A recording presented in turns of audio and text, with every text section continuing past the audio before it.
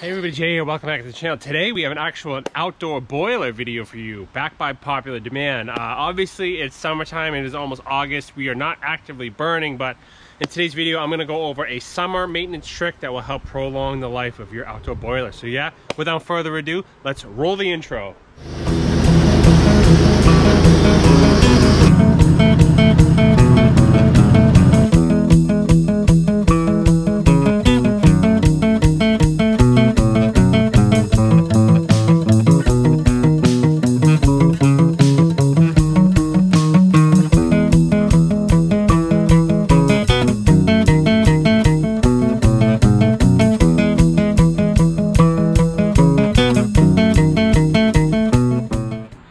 If you like that intro, I invite you to subscribe to the channel. We do a ton of stuff here on the homestead. But anyways, behind me is my central boiler, CL6048. For those of you who are just joining us, this is our unit.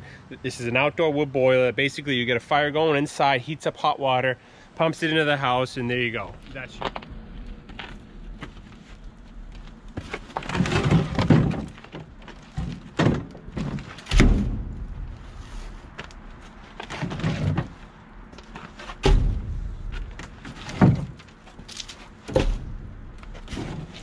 that's your uh, pretty much your one heat source for the wintertime. Um, in today's video, we're going to talk about a summer maintenance trick, and that is um, moving, circulating the water. Now, obviously, many as you may know, um, standing water, stagnant water, and you you know any water that's sitting anywhere that's not circulating can obviously cause mold, it can cause issues.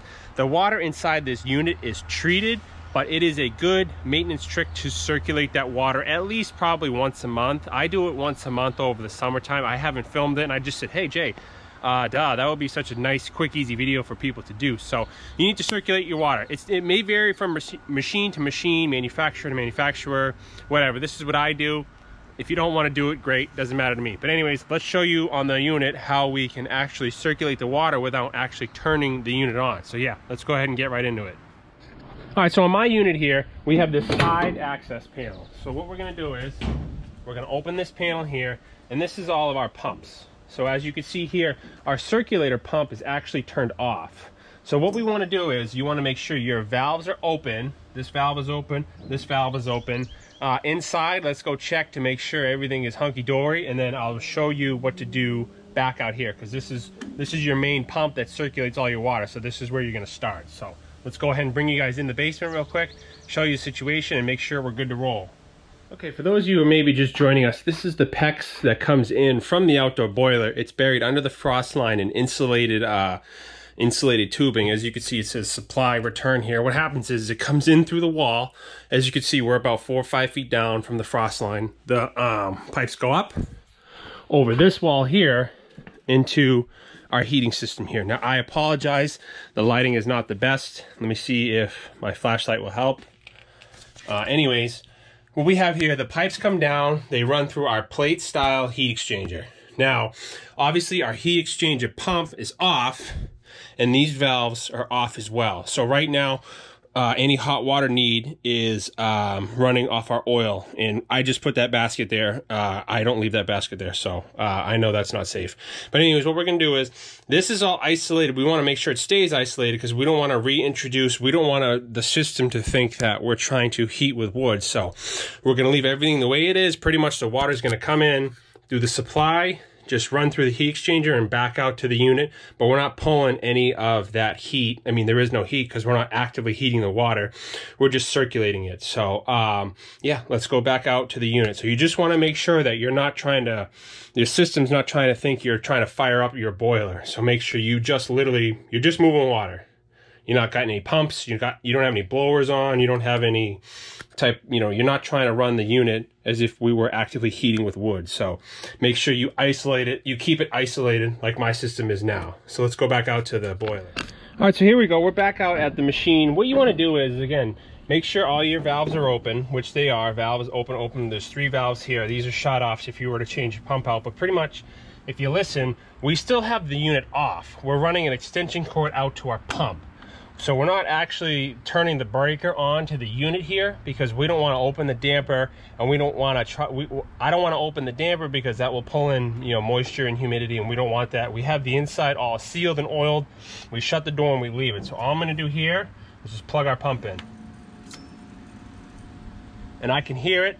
I don't know if you picked it up on camera, but I can hear this unit and I can feel obviously vibrations in the pipe now, but we are actively moving water now.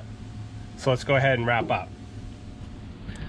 All right, everybody, so let's wrap up here. That's pretty much it. All you wanna do is you wanna plug your pump in, just your pump. You don't wanna have any blowers going. You don't wanna have any dampers opening and closing. We're pretty much just running this pump as is.